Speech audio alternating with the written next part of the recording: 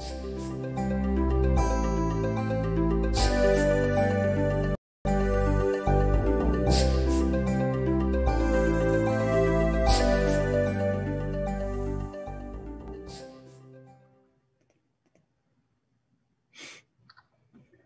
Hello, everybody, and welcome to another episode of Dome to Home on Fiske Planetarium's YouTube channel.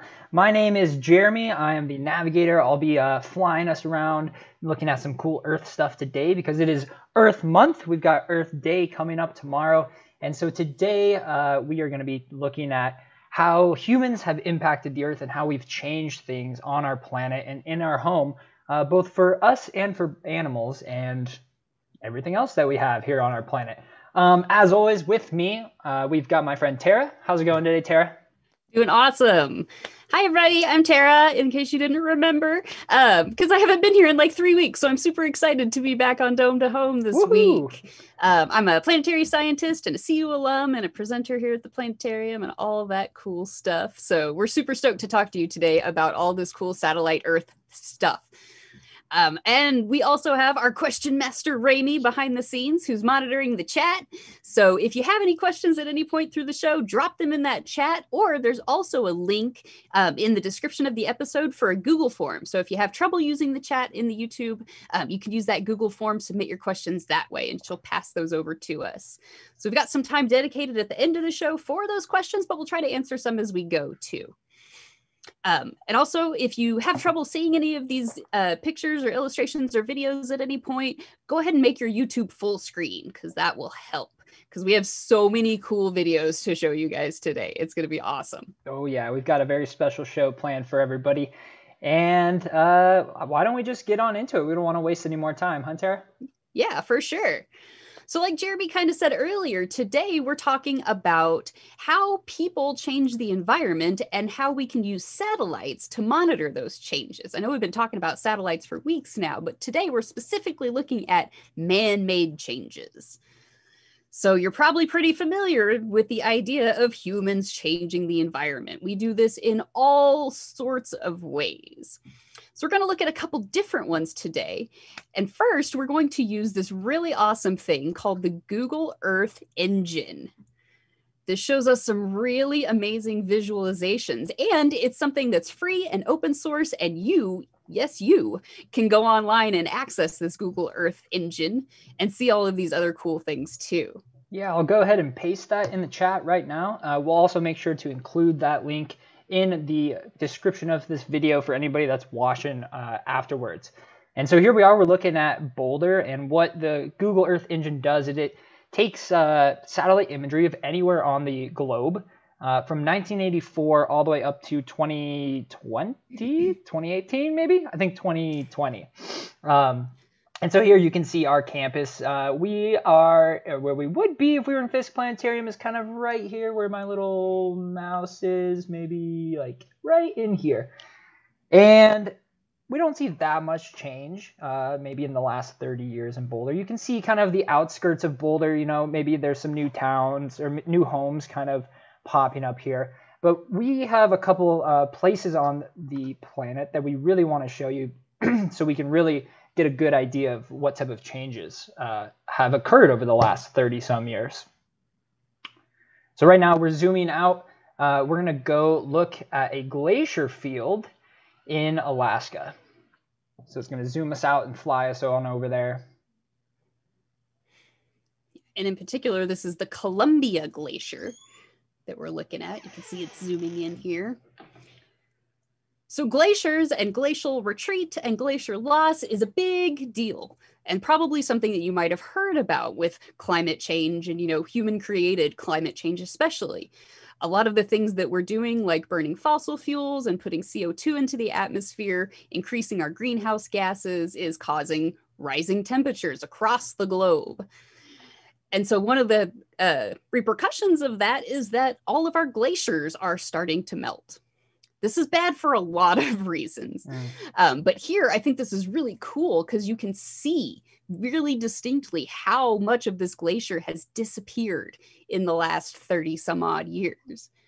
Now, glaciers do kind of go back and forth. They'll melt a little bit and reform in the winter and melt in the summer. But this is unheard of to lose this much of a glacier.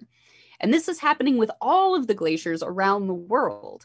They're not only shrinking in size, but they're not rebounding as much in the winter like they normally would. So we're losing tons and tons of glacial ice. And all of that water ends up in our oceans, which causes all sorts of other problems. And we're going to talk a little bit about some of the ocean stuff in a little while. I yeah, and really I think uh, one of the big things to note about glaciers is you can see that this glacier, especially, is uh, overlying water.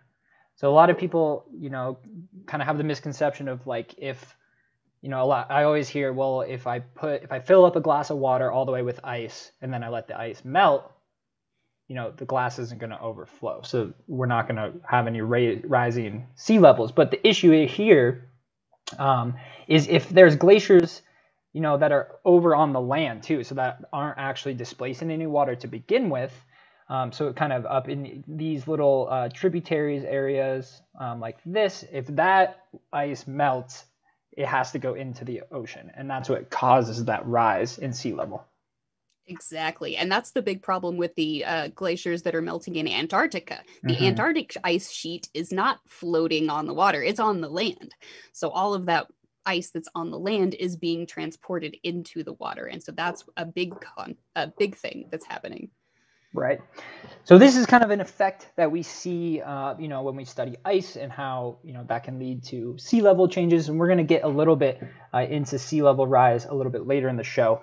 Uh, but next, let's look at uh, something that might be a little bit more familiar to us humans, and that's going to be deforestation. So to take a, a good kind of satellite view on that, we're going to go uh, down to Bolivia into the forest, and we're going to see how this one forested region has changed over the last 37 years.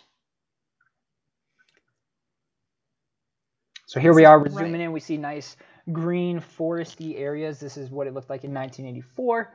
And then as this kind of renders out, you'll start to see some of some changes uh, start to appear. And what are we really looking at here, Tara? Well, all of that brown stuff that you see appearing is ground. They're taking out the trees, it's exposing the land.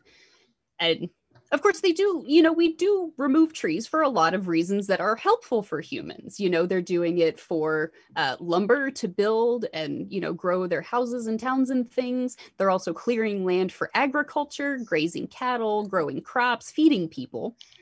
These are not in themselves bad things, but when you're removing a lot of trees and doing a lot of deforestation, that's when you start running into problems. A, because as we know, trees breathe in carbon dioxide and breathe out oxygen, the opposite of what we do. So if we have less trees, we have less things around us to get rid of some of that carbon dioxide that's coming out into the air, especially the stuff that we as humans are putting in the air. So there's more CO2 to begin with and less things to help us get rid of the CO2. Plus, we have to think about as they're doing this land clearing, they're using big tractors and ditch diggers and all sorts of uh, really heavy machinery, which puts out even more greenhouse gases, burning fossil fuels. We also see increases in things like methane, which is another really powerful greenhouse gas that comes from livestock basically cow farts. really, really powerful greenhouse gas. And if we're clearing all this land for agriculture, we're also increasing the methane production in the area. So it can be kind of a runaway effect when we start with this deforestation kind of thing. Yeah, and I just want to make sure we're keeping our smooth stream here. We've got a lot. This uh, is taking a, quite a bit of my computer's power, but I think hopefully we're still good. And if you look kind of around, not so much these little brown areas, but you can see kind of maybe some roads and rivers. Um, you can also see some cities start to appear. So obviously, uh, another thing we can track with satellite data is actually like the growth of human population and where we are, you know, building our new cities. And I think one of the best examples of this is if we take a trip uh, to the other side of the world and like go over to Dubai. Um, if people have never heard of Dubai or maybe some of the the growth that they've you know really implemented there, uh, you're going to enjoy this this little time lapse over the last 37 years. It's pretty crazy. It's one of my favorite ones to view because uh, as we view it, as we zoom in here, we'll see uh, the city, or is it a, a, nation of Dubai? It's a city, a city. in the okay. UAE. Yeah, mm-hmm. correct. So we see the city. There's nothing in the water to begin with. If it once it goes back to 1984, and then all of a sudden, around let's see, about 2008, boom, palm trees. Palm trees.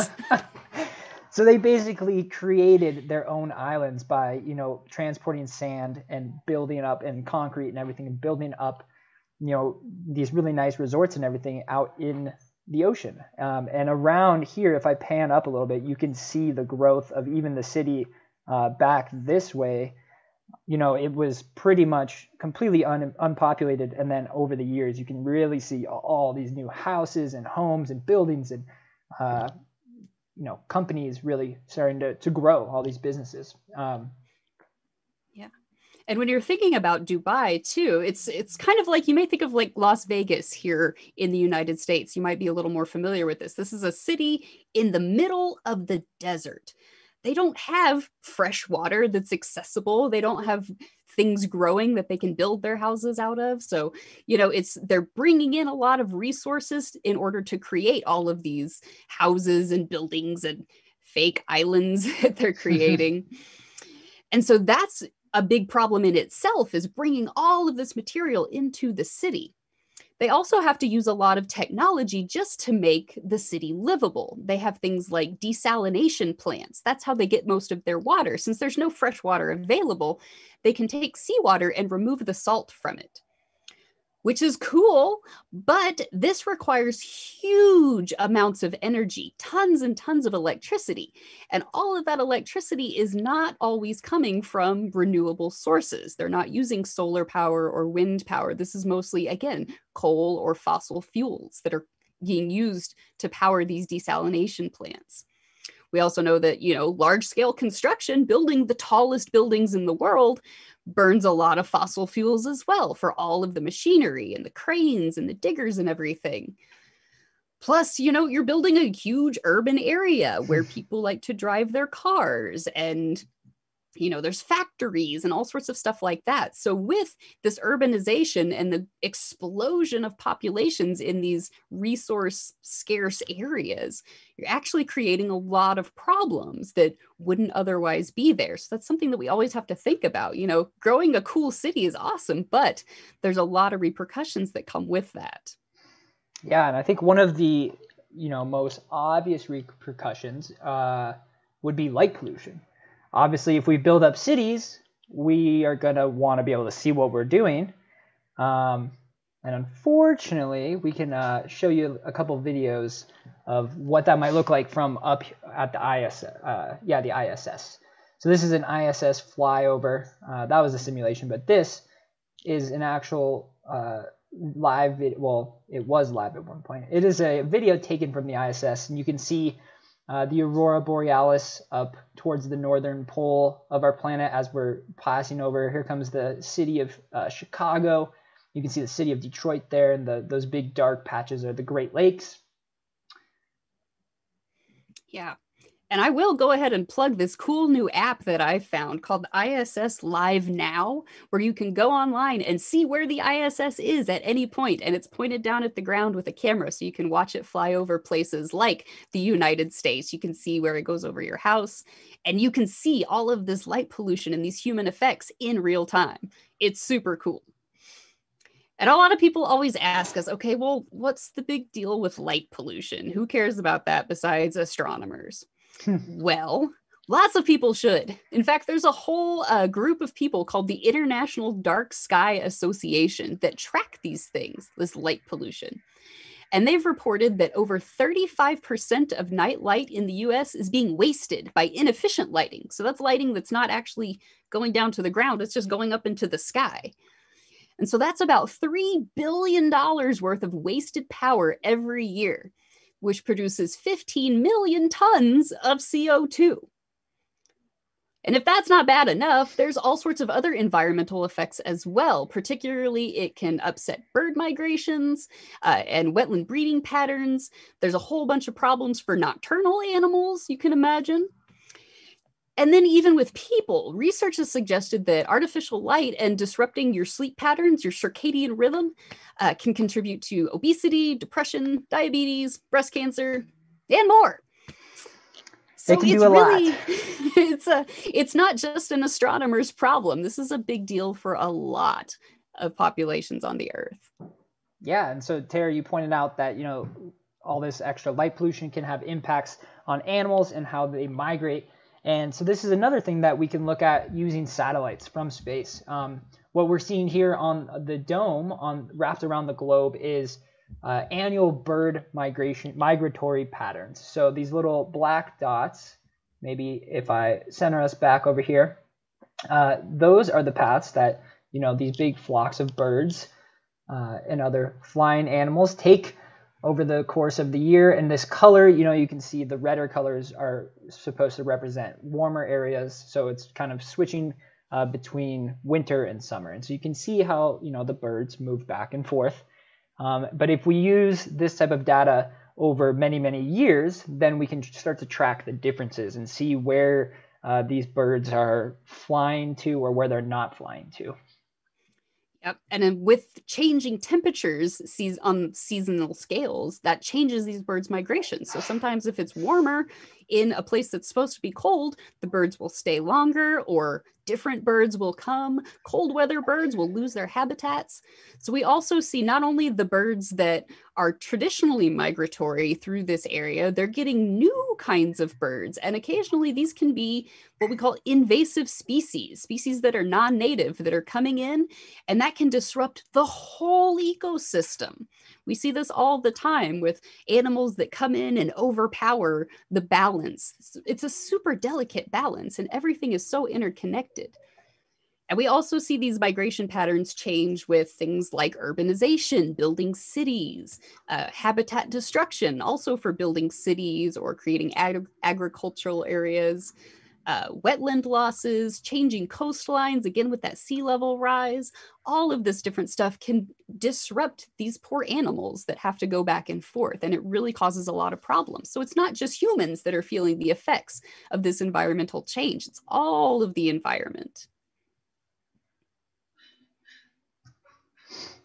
Yeah, so and another thing we can uh, look at with our satellites from space, um, as we kind of showed in uh, this migratory bird patterns, is we can also take a look at global temperatures. And so what are we looking at here, Tara? So this shows us not just the global temperatures, it's what we call temperature anomalies. So that's just telling us where the temperature is not where it's supposed to be. We have we have lots of great temperature records going really far back, so we have a good idea of what the average temperature in a specific location should be. So in this map, the places that are kind of that orangish yellow color are where it's hotter than we would expect it to be.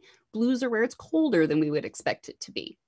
And both of those are a problem. People think of climate change and they think of global warming. Well, it's not just warming, it's warming in places where it shouldn't be and much colder in other places where it shouldn't be.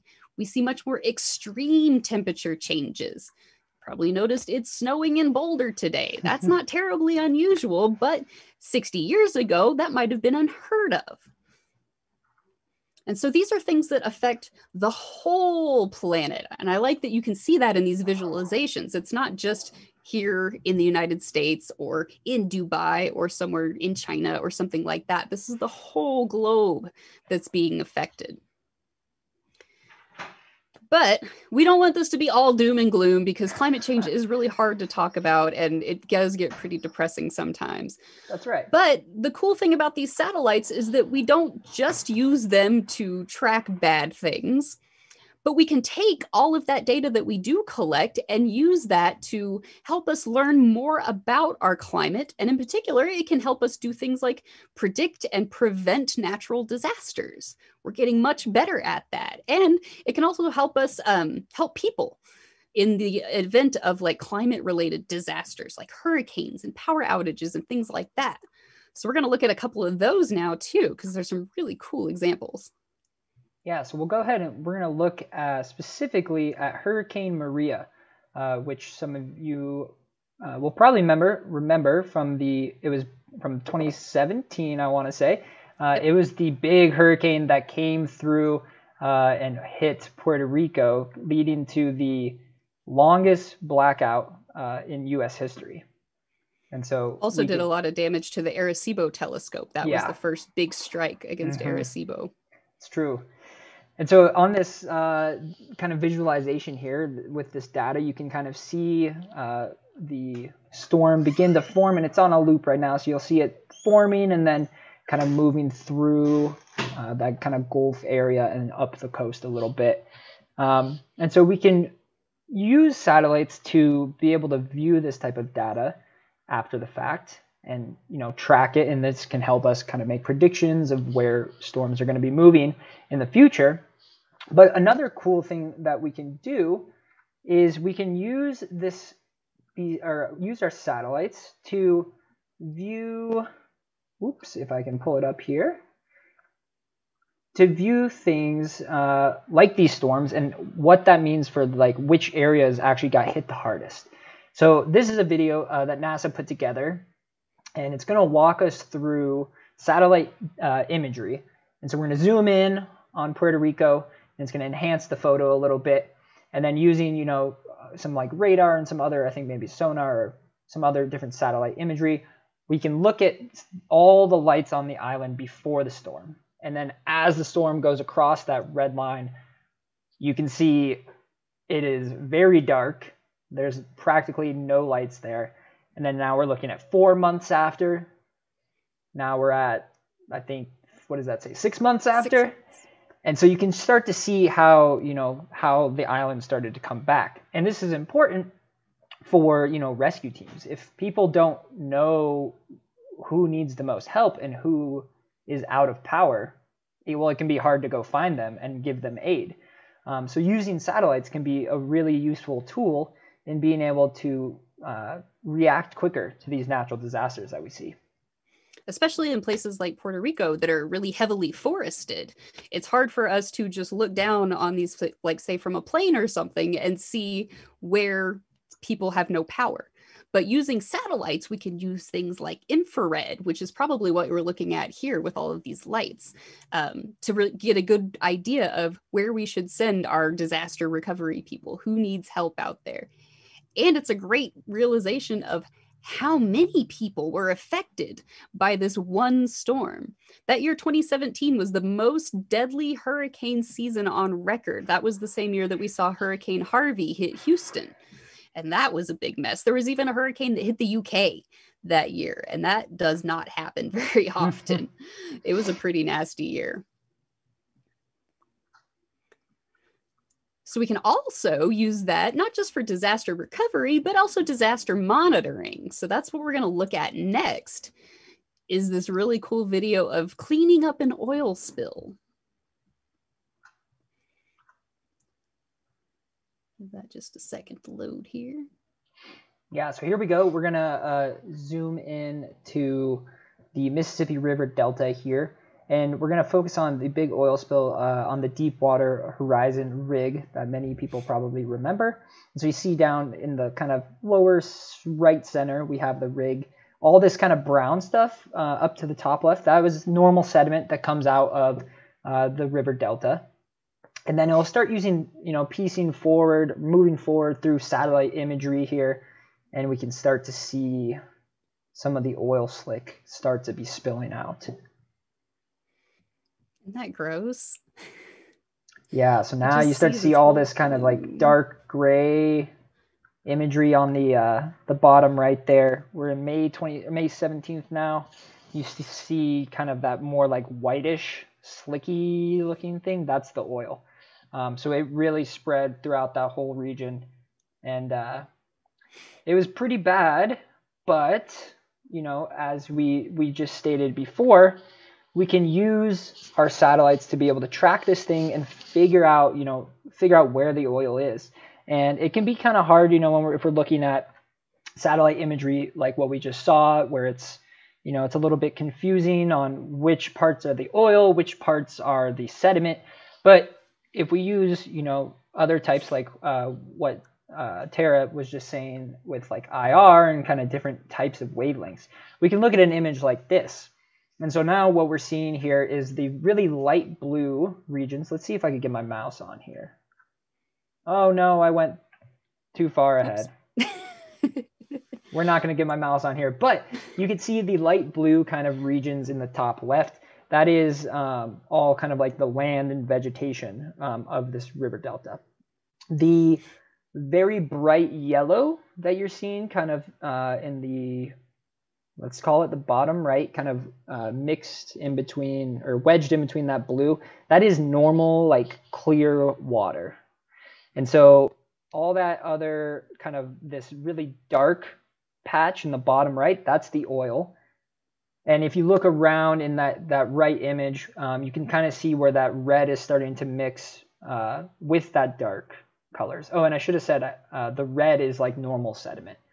So you see a lot of normal sediment coming out of that delta, but you can see where those really dark blue and black uh, regions are starting to kind of move all out in that whole Gulf region. And so this can be really useful because if you just look at the image on the left, it's a little bit tough to tell, okay, what is normal water, what is the land, what is, you know, oil, and what is sediment. But if we use different wavelengths of light from our satellites, then we can get a better picture of the extent of the damage. Right. And that can help us uh, target cleanup efforts to figure out where this oil is going, protect local wildlife, and also protect people. If we see these huge plumes of oil moving towards a coastal city, we can let people know hey, maybe you should not get in the water tomorrow or something like that. So, this is very helpful for protecting wildlife and people too, not just for looking at it and thinking how gross it is. Mm-hmm. Exactly. So the next one we were going to look at too is again that sea level rise that we talked about earlier. This is again contributed from lots of different things, not just melting glaciers, but all sorts of other stuff that's happening around the world that's causing the sea levels to rise. And again, this is uh, kind of like the temperature one. You're looking at uh, areas that are red are where the sea level is going up abnormally high, and blue is where it's going down abnormally high.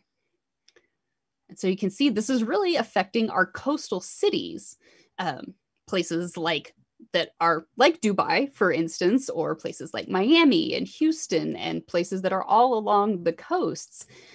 It's not just bad because the sea level is rising and it's taking over our coast, but think of how many people live in the city of Miami or New York City or Boston or these places that are right on the water. That's a ton of people who are at a really high risk. Because as the sea level rises, it's moving inland and it's taking out a lot of these cities. And unfortunately, it's disproportionately affecting minority communities, low income communities, and especially in places like Indonesia and other uh, places that are much less developed than the United States. This is really affecting really vulnerable populations.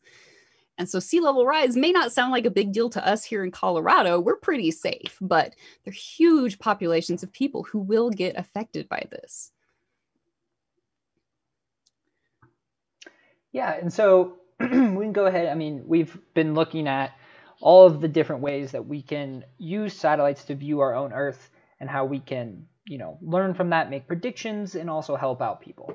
Um, but this is a lot of you know earth science and atmospheric science which is a lot of the work that astronomers do do. But we also study things like stars. And in particular one star that we care about very very much being our star the sun. And so what do we do using satellites to study the sun tara all sorts of cool stuff. All kinds of things. now, besides just making the planet hot, our sun does a lot of other stuff too. And in particular, you may have heard of these things called solar flares.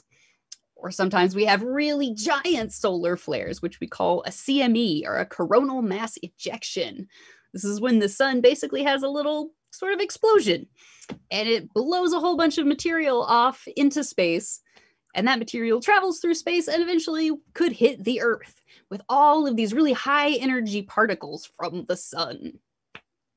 In addition to that, just kind of sounding scary, um, all of these high energy particles can affect local power grids. It can short out our power grids. It can affect all of our satellites. So we could lose communications and internet and GPS. And it could be bad for planes and helicopters. There's a whole lot of stuff that the sun can actually do to harm us here on Earth, besides just, you know, making us too hot or giving us skin cancer. It can affect us in a lot of ways. That's right. We definitely want to be able to study the sun and have good, accurate, up to date, um, you know, observations of it, so that we can better plan for our future.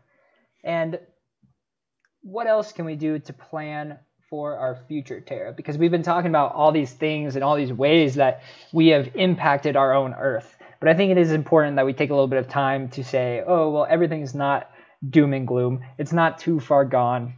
So let's take a little bit of time to maybe uh, start talking about some solutions. And then also, if you guys have any questions so far, I know we're kind of running out of time here, so go ahead and type those ch- uh, questions in the chat. We'll wrap things up and then we'll we'll answer some questions. Yeah. So yeah, it's not a hopeless problem. I know climate change seems huge and overwhelming, and it can be, but there are things that we can do to help kind of combat this and at least mitigate it, or even maybe do a little bit of good and help things turn around. Um, the number one thing that you can do to help with climate change is what we call corporate accountability. Now, I know everybody thinks that what can I do as an individual to stop climate change? But one thing that you have to think about, and this is a surprising fact that I learned, is that 100 companies are responsible for 70% of the greenhouse gases in our atmosphere around the world. 100.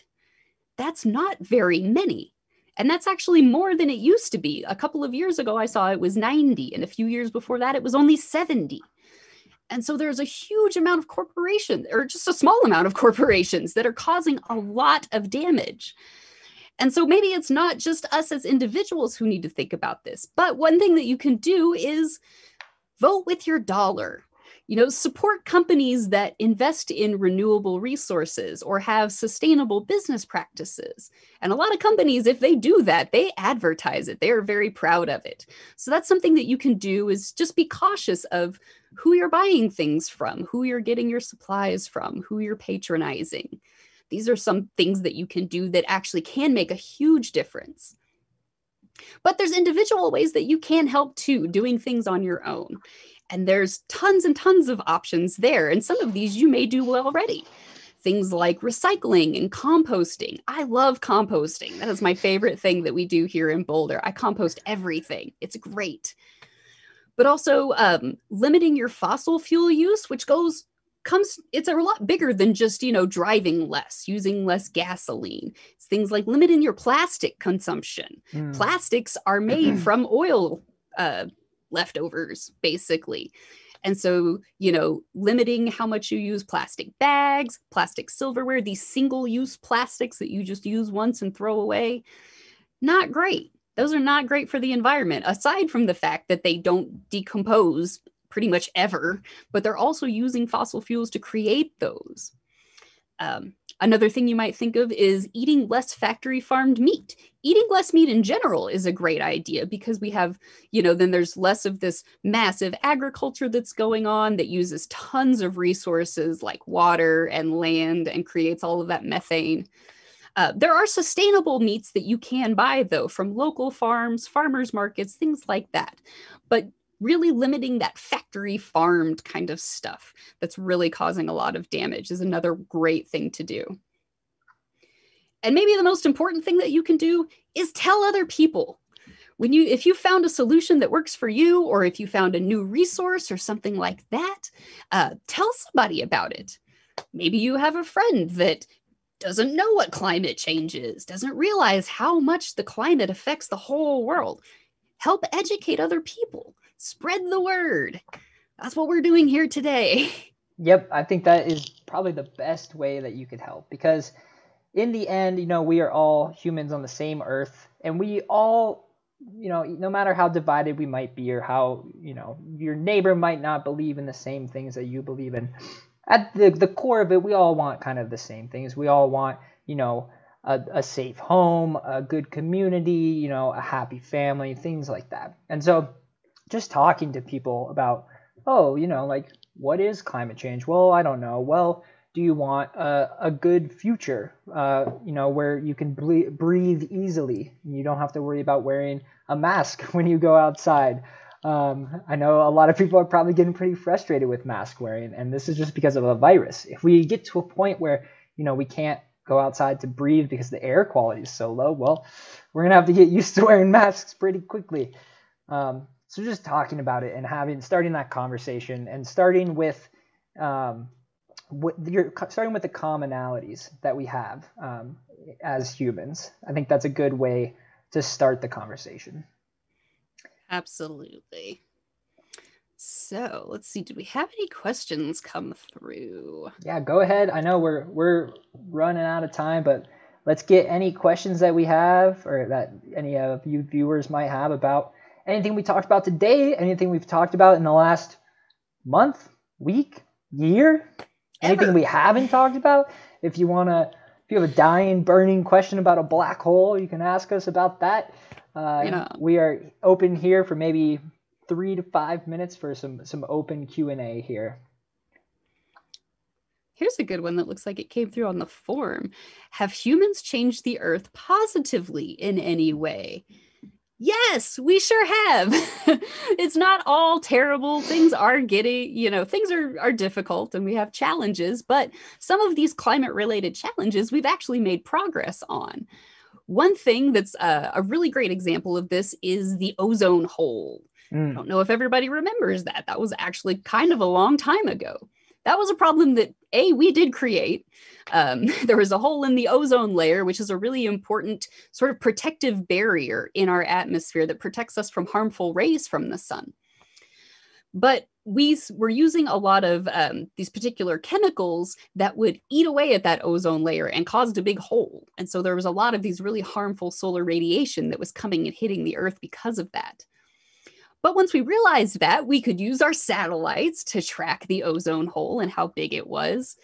And we cut our use of these particular chemicals. They're called chlorofluorocarbons, CFCs. It's a lot of things that you find in aerosol containers like hairspray and whipped cream and things like that. Um, but by limiting, severely limiting the amount of CFCs that we were using and putting into the atmosphere, that ozone hole was actually able to recover and shrink down. And I believe it's almost, if not it's completely gone, it's almost completely gone now. So we actually did something good. It was great. that was a big success for for us and climate. Um, I had just thought of another one and now I lost it. It's another great thing? No, that was a good thing. I mean, we've all overall we have done a lot of good for the planet. And I think the reason, you know, a lot of people get discouraged when we start talking about climate change too is because it starts it it feels, you know, if if you suggest to someone that maybe they change the way that they do something, then it can feel like you're getting personally attacked. And nobody likes to feel like that. So it's good to, you know, know that it's not like it's all our fault and everything is just your fault, but we want to start working towards ways because there is a better way to do it. A lot of the things that, you know, a lot of these habits that we've fallen into, we've fallen into for many years, and the habits were formed when we didn't know that it was a bad thing to do things like the CFCs. we didn't know it was going to be terrible for the atmosphere. But then we were able to use science and find facts and look at, okay, this is a bad thing. We should do something to change it. And I don't think anybody's life is worse off because we're not using CFCs anymore. You know, we adapted and we found a new way uh, to move forward. Mm-hmm. Uh, looks like we got a question from Chris Grant asking Is it true that there is more overall vegetation on Earth today than there was 50 or 100 years ago? and maybe this is due to us having a warmer overall climate. Hmm. What do you think, Tara? I have not heard that before. I can I I would believe that would be true. I could definitely believe that that is a thing, um, that there is more vegetation. I don't know if it would be due to us having a warmer climate or possibly to uh, due to just people. We are doing a lot more agriculture than we used to. That warmer climate definitely helps us. Our agricultural zones have expanded drastically because we have places that are not as ice covered as they used to be. Um, people have done a pretty good job at reforestation recently. We still do a lot of deforestation, but there's been huge movements to try to, you know, restore the rainforests in places like Brazil and South America or Indonesia and all of the Papua New Guinea and all the places over in the uh, eastern side of the world. So I would not be surprised if our vegetation has overall increased, um, and it could possibly be due to the warmer climate. Um, that being said, an increase in vegetation by itself is not a bad thing, but if it's due to things like agriculture, we also have to think of why we have so much more vegetation. Part of that could be due to a drastic increase in uh, things like fertilizers and pesticides. And these are terrible things for us. These get into the water supply. It's bad for drinking, it's bad for animals. Um, a whole lot of uh, plants that we grow are non-native species in certain areas and so that can be bad for the soil itself. That's why we have to use more fertilizers. Um, and there's plenty of other plants that don't do well in really hot areas. So we might be increasing the overall vegetation but decreasing our biodiversity. Things like you know there's all sorts of here in colorado we're very familiar with like alpine habitats and all of the crazy little plants that grow on top of mountains with warming temperatures, we're losing all of those species. They're being replaced by more temperate species, but we're losing our diversity. So that's another thing that you have to think about. The environment is incredibly complex and everything is connected. So changing one little thing over here could change a ton of stuff over here. It's really it's it's a really complicated problem. Yeah, that's that's a great question. yeah, that is a really good one. And so with that, I think if there's not any other ones, Terry, have we gotten any other uh, questions from Rami on the back end? I don't see anything else that came through. I think that might have been our last one for today. But if you think of any that you uh, just come up with after we're gone, come back and leave us a comment and we'll get those and we'll answer your questions here in the comments or you can drop them in the YouTube form. We do still have one more week of our earth facing dome to homes. So next week we'll be back um, and I'm going to tell you a little bit about upcoming missions of these satellites, different satellites and missions that we're launching in the future to help us again with our Earth monitoring and all the cool stuff we're going to learn and find out and look at with all of these upcoming missions. So there's lots of cool stuff coming. Also, like we said at the beginning, tomorrow is Earth Day. Woo! Thursday, the 22nd. That will be Earth Day this year. And so, of course, here at Fiske, we have to have a special program for Earth Day. Uh, so definitely come back tomorrow night around 7:30. We've got a special speaker that's going to do a whole hour and a half about Earth Day stuff. Uh, it's going to be really, really cool. So I definitely recommend coming and checking that out. It's right here on the YouTube channel. So just come right back here tomorrow night at 7. And I think that should wrap us up for the day. Yep. Got anything think, else, Jeremy? I think that's about it. I don't know if you've said it, but make sure you guys like this video if you liked it. Uh, share it with your friends. Go ahead and subscribe to this channel so that you don't miss any of these cool videos that we put out there. Um, with that, yeah, Earth Day tomorrow. Thank you, everybody, so much for joining. We love having this participation. We got a lot of great questions today. I had a blast. I hope you had as much fun as I did. Tara, did you have fun today? I did. That was a lot of fun.